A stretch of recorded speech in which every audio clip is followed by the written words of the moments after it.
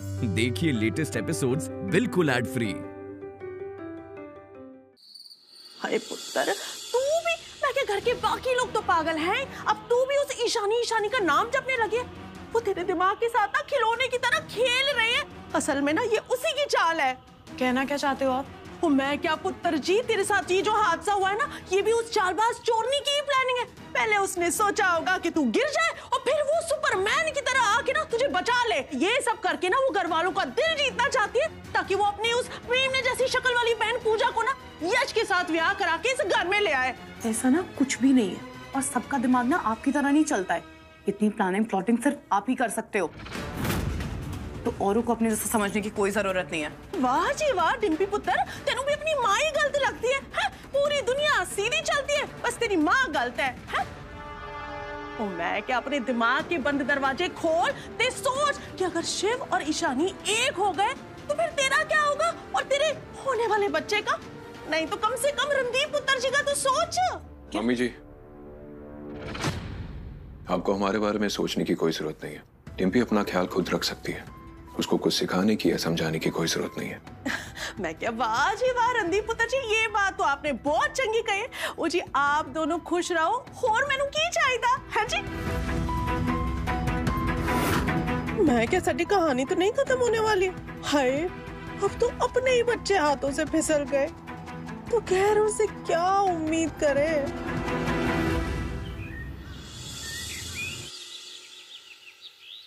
किरण जी एक के बाद एक, इस घर में कुछ ना कुछ हो ही रहा है। पहले शिव का एक्सीडेंट फिर ईशानी का इस तरह इंजर्ड होना। अगर ईशानी ने उस दिन डिम्पी को नहीं बचाया होता तो सोचो क्या होता। फिर यश के वो फ़ोटोज़ घर में सभी के ऊपर कुछ ना कुछ संकट आ रहे हैं। ओ जी, मेरी तो सलाह है कि घर के सुख, शांति के लिए एक बार पाठ रखवा दो। हाँ आप ना बिल्कुल सही बोल रही हैं। मुझे पाठ करवा लेना चाहिए आज ही पंडित जी को बुलवा के मुहूर्त निकलवा लेती हूँ एक अच्छा सा वो ये बिल्कुल ठीक है और बाकी अरेंजमेंट्स मैं देख लूंगी हाँ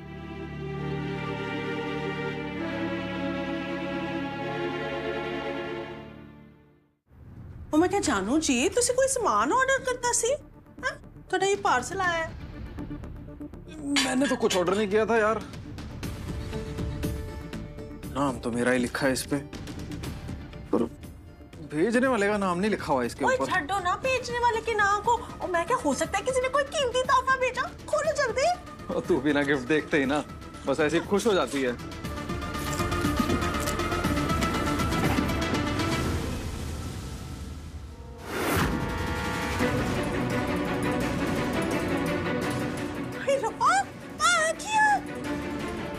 मगर मेरे पैसे नहीं लौटाए तो यही हाल होने वाला है तेरा।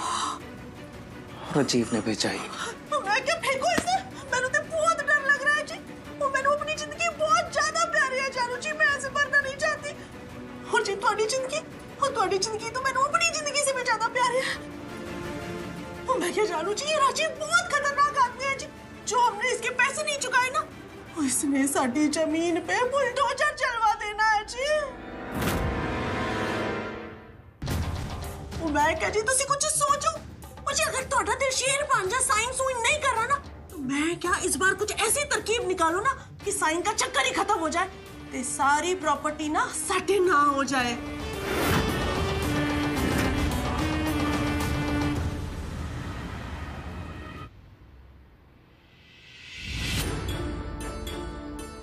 मैं क्या इस बार कुछ ऐसी तरकीब निकालो ना कि साइन का चक्कर ही खत्म हो जाए ते सारी प्रॉपर्टी ना सटे ना हो जाए मामा जी को जल्द से जल्द एक्सपोज करना पड़ेगा। लेकिन मेरे पास तो कोई सबूत नहीं है। कुछ समझ में नहीं आ रहा है, करूँ तो क्या करूँ? मामा जी कभी भी कुछ भी कर सकते हैं।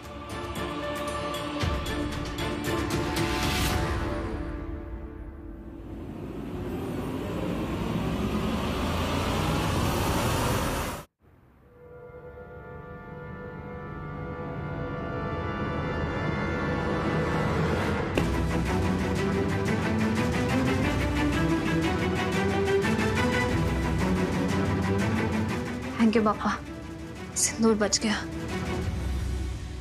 ये सिंदूर तुम्हारे लिए इतना इंपॉर्टेंट क्यों है? इससे मैंने ज़बरदस्ती तुम्हारी मांग भरी थी।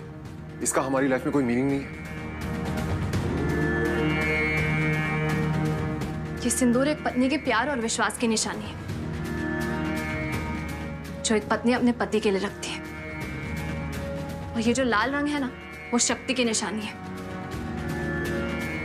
जो बताता है कि हर औरत के अंदर एक दुर्गा होती है, जो ज़रूरत पड़ने पर किसी भी महिषासुर से अपने पति की रक्षा कर सकती है। तो प्लीज़ इसे कभी भी सिर्फ़ लाल रंग समझने की गलती मत करना।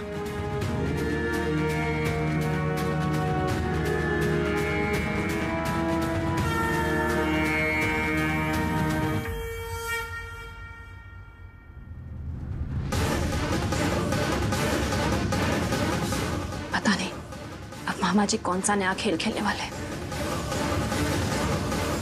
बहुत दिनों बाद घर पे आए होगे ले आओ कौन से पेपर लेके आए हो? जरा चेक कर लेता हूँ जब तक शिव आएगा। धीरज अंकल आप? तबीयत कैसी है आपकी? मैं तो ठीक हूँ बेटा। तुम कैसे हो? फीलिंग बेटर कुछ ज़रूरी पेपर्स थे बेटा। इन पर तुम्हारे सिग्नेचर करवाने थे। इतने दिनों से काम पड़ा हुआ था तो मैं सोचा खुद घर ले चल के साइन करवा लेता हूँ। ये मौका अच्छा है। इन पेपरों के साथ मैं अपने पेपर भी बीच में ही मिला देता हूँ। इनको क्या ही पता चलेगा। अनजाने में ही सही। कम से कम मेरे अकाउंट में ग्यारह करोड़ तो आ जाएँगे।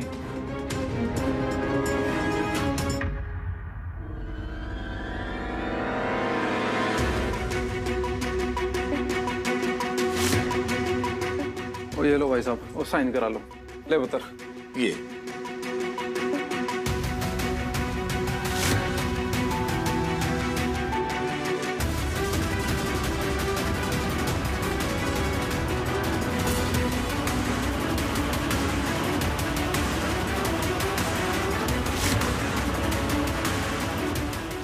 आप चेक कर लीजिए एक बार।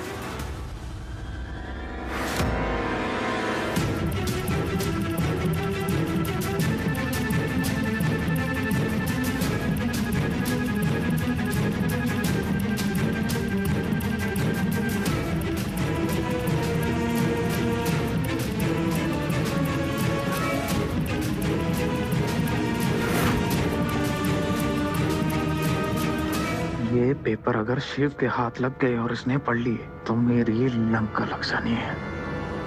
और ये ले शिव पुत्र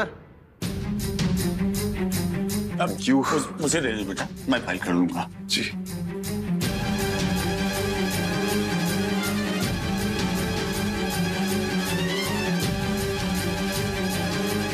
सारे पेपर पर साइन हो गए बेटा? जी। ठीक है बेटा चलता हूँ।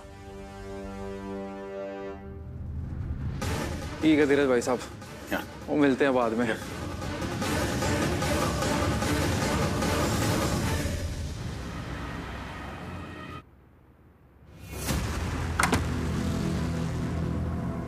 वाह भूपेन वाह। एक ही झटके में शिव के अकाउंट से 11 करोड़ गायब। वाह। ओ क्या बात कर रहे हो भाई साहब? वो तो डील के पैसे थे। उसके बारे में शिव को पहले से ही पता है।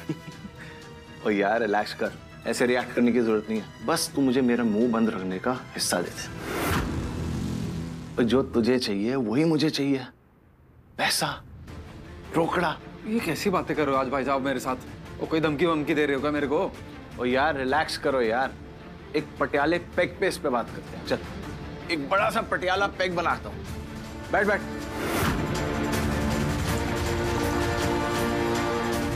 ओ भूपेन बैठ ना यार आराम नाल। ओ यार बैठ ना रिलैक्स करके बातें करते हैं। Cheers. हम्म। तुझे एक बात पता है? नहीं पता होगी। मैं ना बॉबी की शादी शिव की बहन से क्यों करा रहा हूँ? दोनों एक दूसरे से प्यार करते हैं और सबको पता है ये बात तो। गलत। ये प्यार व्यार ना कुछ नहीं होता। अरे यार देख ऐसा है कि पैसा ही ना सब कुछ है। मैनू भी ना सिर्फ़ पैसे चाहिए और तुसी तो इस धंधे के पुराने खिलाड़ी हो, भूपेन। तुम्हें तो आदमी की चाल से ही उसके पूरे कैरेक्टर का पता कर लेना चाहिए। और तुसी भी तो ड्रामा कर रहे हो ना, शिव के पैसे और प्रॉपर्टी के लिए। क्या बातें कर रहे हो आप मेरे साथ, भाई साहब? देखो, दुश्मन का दुश्मन दोस्त होता है। क्यों ना हम दोनों दोस्त बन जाए? वैसी शादी का माहौल है, सब खुश हैं। और ये काम करने के लिए इससे अच्छा मौका नहीं मिलने वाला। उपेन जी, तुम्हें पता है, तुम्हें एक पार्टनर की ज़रूरत है। अरे यार, मुझे तो लगा मैं शिव को ना एक ही बोतल में उतार दूँगा। लेकिन वो ईशानी आ गई ना बीच में। वो ईशानी तो सबसे बड़ी प्रॉब्लम है। जो वो ना होती ना हमारे सारे काम हो जाने थे अब तक। उपेन भाई साहब, वही तो बोल रहा हूँ, कुछ करो।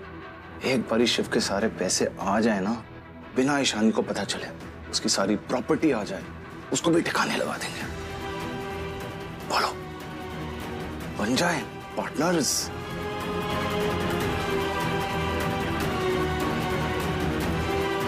बन जाते हैं, partner.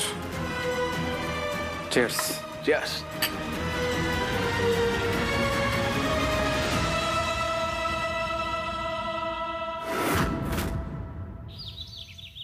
thank you uncle.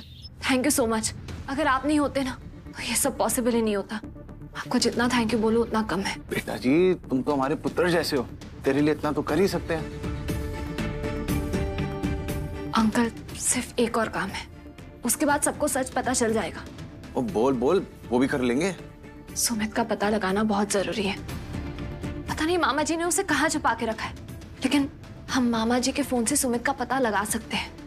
Sumit का अरेस्ट होना बहुत ज़रूरी है। जब तक वो बाहर आएगा ना तक शिव के साथ कभी भी कुछ भी हो सकता है। ये तो बहुत मुश्किल काम है ईशानी। वो भूपेन अपना फ़ोन ही नहीं छड़ता। मुश्किल तो है लेकिन एक सोल्यूशन है मेरे पास। मुझे पता है मामा जी की कमज़ोरी क्या है।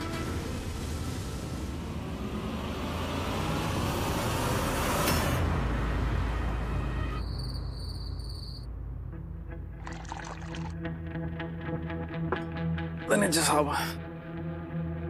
ये शराब ना मेरी बहुत बड़ी कमज़ोरी है। एक बारी मैं शुरू हो जाता हूँ ना फिर मैं पीता रहता हूँ पीता रहता हूँ पीता रहता हूँ। ओ भूपेन भाई साहब आज तो आपने और मैंने रज के पीनी है। शिव की बर्बादी को तो कोई रोक ही नहीं सकता।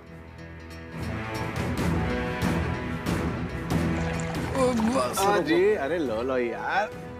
मैनेजर साहब जे मैंने पता होता ना कि आप इतने बड़े दिल के इंसान। हो तो मैंने आपसे पहले ही दोस्ती कर लेनी थी। खैर थोड़ा टाइम लग गया पर हम दोस्त तो बन गए ना। और क्या दोस्त तो बन गए हैं अब तो लंबी चलनी है दोस्ती। वो तो लंबी चलनी है चलो इसी बात में ना चेयर हो जाए। और ये जामना शिव की बर्बादी के नाम।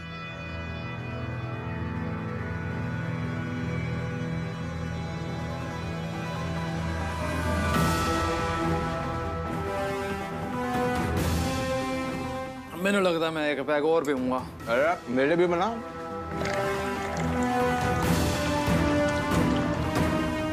मैनेजर साहब ये वाला पैक ना बाहर लगाएँगे खुली हवा में बालकनी में। चलो आ जाओ मेरे साथ। आराम।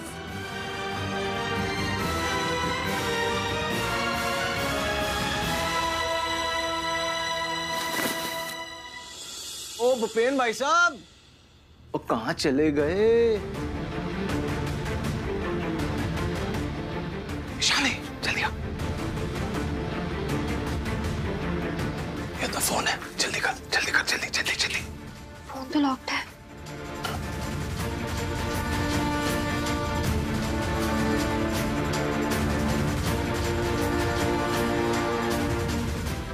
खुल गया। सुमित का नंबर ढूंढना पड़ेगा। और जल्दी कर। मिल गया। मैसेज भेज देती हूँ, फिर काम खत्म। मैसेज तो भेज दिया लेकिन अभी तक उसने चेक नहीं किया। देख लिया। अब इस मैसेज को इस फ़ोन से डिलीट कर देती हूँ। मामा जी को पता नहीं चलेगा। चल चल चल चल चल जल्दी कर जल्दी कर जल्दी कर और उधर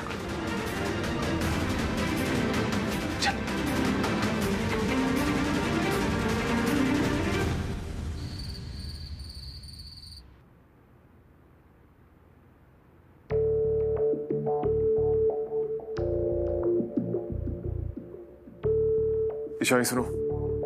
आज रात तुम बेड पे सो जाओ। मैं सोफे पे सो लूँगा। नहीं शेफ मैं यही ठीक हूँ। तुम्हें भी तो रेस्ट चाहिए। लिसन इट्स लेट बहस मत करो। तुम भी ब्लैंकेट लो और बेड पे जाओ। तुम ऐसे नहीं मानोगे ना। चल यहाँ पे सो के देखा।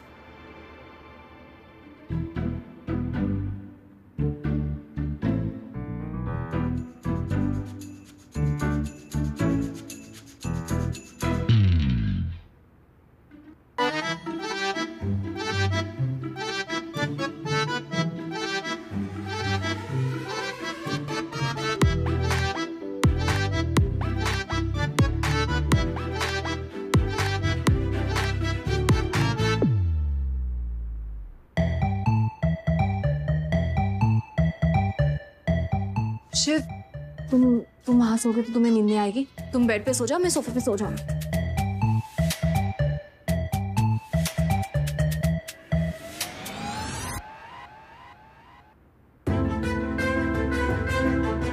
एक मिनट। किसी को कहीं सोने की ज़रूरत इतना बड़ा बेड है। दोनों फिट हो सकते हैं। आई जस्ट नीड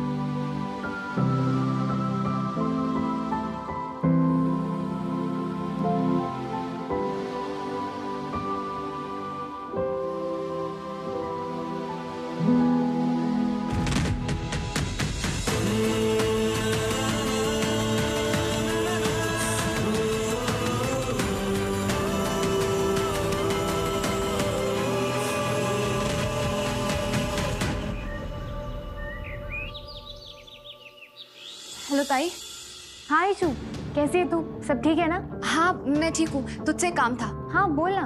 वो कल शिव ने कुछ अकाउंट्स के पेपर साइन किए थे। तो बस कैसे भी करके उनका पेमेंट एक दिन के लिए रोक दे। इशू अकाउंट्स डिपार्टमेंट अलग है। मैं कैसे पेमेंट रोक सकती हूँ? मैं शेफ हूँ। ताई कुछ भी कर। अगर अकाउंट डिपार्टमेंट एक दिन के लिए बंद भी हो जाए ना तब भी चलेगा। बस तू ये कर दे मेरे लिए। इशू तू साफ़ साफ़ बता तू क्या करना चाहती है?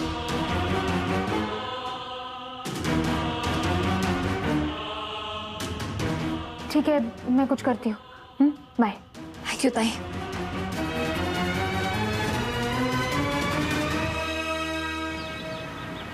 क्या?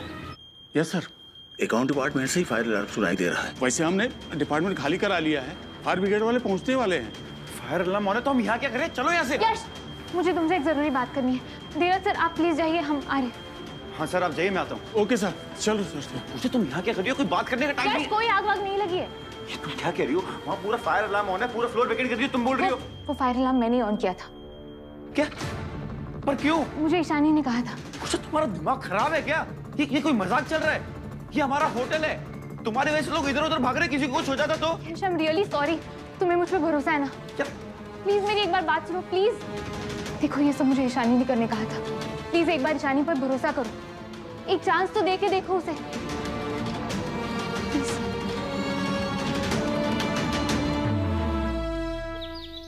हाँ, क्या बस उड़ी है? वो क्या बोल रहा है? अब वो ऐसे कैसे पैसे ट्रांसफ़र नहीं हो सकते? और आग और ये फायर अलार्म क्या है? और ये बसूड़ी भी खत्म नहीं होती इनके ऑफ़िस में। क्या हुआ मामा जी फिर से कोई प्रॉब्लम हो गई है क्या? आपको क्या लगा? मैं बीमार हूँ तो आप कुछ भी कर सकते हो। लेकिन आप कुछ नहीं कर सकते। अच्छा। ये अकाउंट्स डिपार्टमेंट में आग वाला ड्रामा तो नहीं रचाया है। बहुत हो गया तेरा अफला तो नहीं ड्रामा और बहुत चाले चल ली तूने। अब मैं भी देखता हूँ, तू कैसे बचाती है अपने प्यारे पति देव को? जितनी कोशिश करनी है, कर लो मामा जी। लेकिन जब तक मैं ज़िंदा हूँ, तब तक आप शिव का कुछ नहीं बिगाड़ सकते।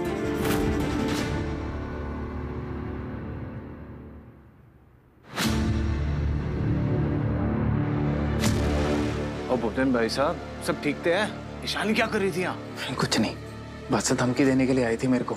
मैं जो भी काम करता ना मेरे सारे करे कराए पे पानी फेर देती है वो कुड़ी। अब तक तो शिव को कब का मार चुका होता मैं लेकिन जब से ये कुड़ी आई है ना मेरा सारा काम रोक के रखा है इसने। लेकिन अब वक्त आ गया है शिव को रास्ते से हटाने का। थोड़ा देर डिटेल में समझाओ मैनू। और डिटेल में क्या बताऊँ? शॉर्टकट में सुनो शिव के नाम पर जाने का टाइम आ गया है अब। वो तो मुझे सब समझ में आ गया लेकिन शिव को मारोगे कैसे? वो तो मैंने नहीं पता लेकिन जिसको जाना होता है ना वो ऊपर ज़रूर जाता है। अब शिव सीधा ऊपर जाएगा। अब तक तो शिव को कब का मार चुका होता मैं। जब से ये कुड़ी आई है ना मेरा सारा काम रोक के रखा है इसने। लेकिन अब वक्त आ गया है शिव को रास्ते से हटाने का।